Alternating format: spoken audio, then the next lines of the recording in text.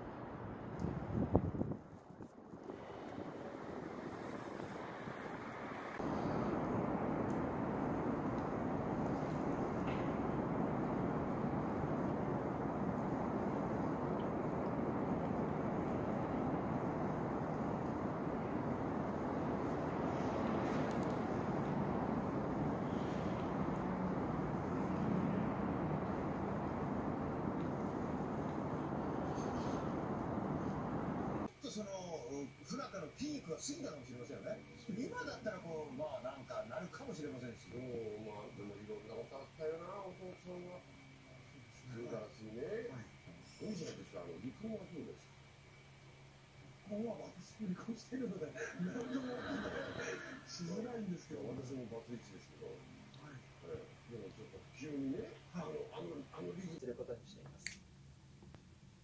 これに対し自民党は知事選挙に元大阪府副知事の小西忠和氏を擁立することを決め公明党に支援を要請しています。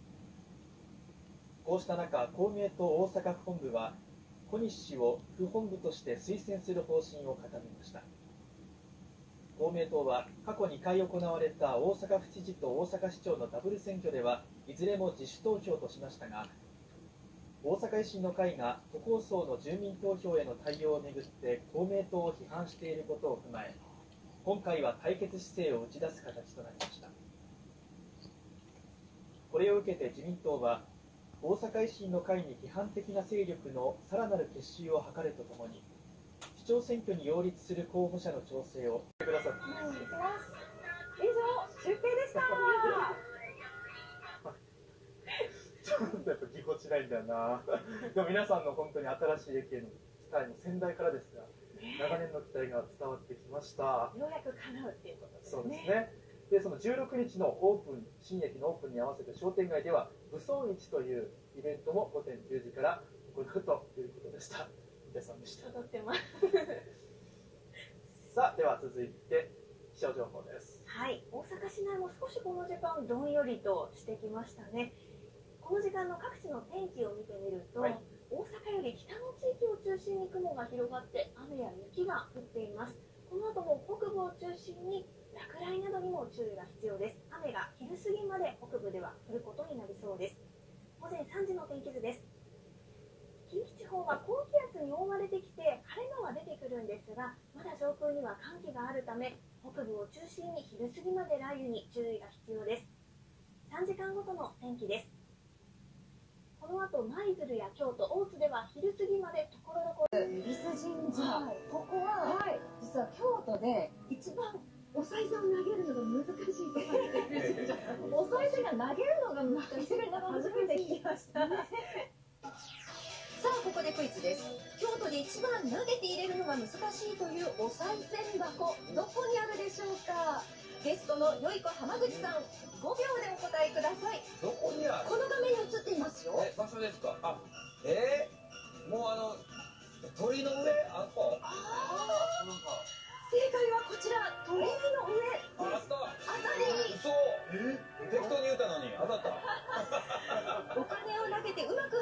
願い事が叶うという言い伝えがあって多くの人たちがチャレンジしているんです。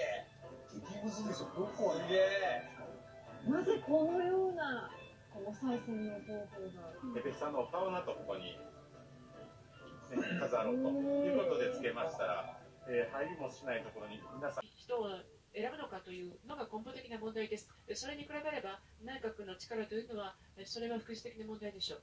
私が聞きたいのはこのブレクシットの合意というのはどういうものが出てくるのか、そして現在まで出ている案とどのくらい違うのかということです。何らかの形の交渉を通じたこの離脱をするのであれば、そしてそれに対してはほとんどの人が賛成しているわけなんですが、それがこの保守党によるものなのか、それとも労働党なんなのかということです。私は元労働党の議員でした。あなたのその問いというのはもちろん正当なものです。しかし、この労働党の方も全くその意見を出していない。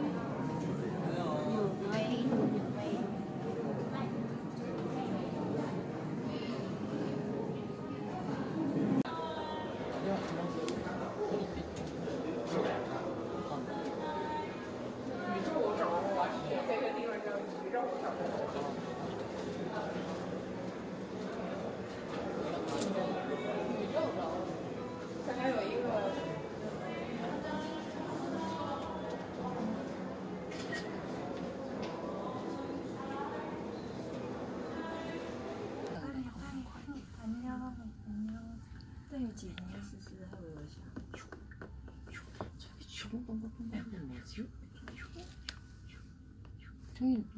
다른 거지?